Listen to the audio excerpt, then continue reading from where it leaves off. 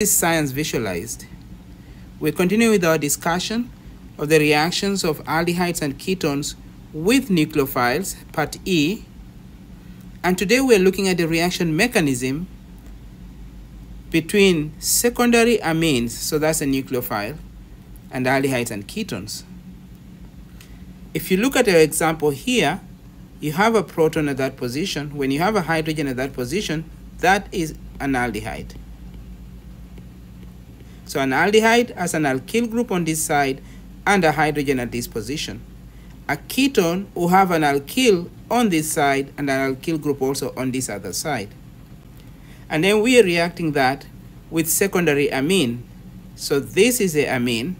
And if you look at that nitrogen, it has one alkyl group and second alkyl group. So it has two alkyl groups and that makes it secondary amine.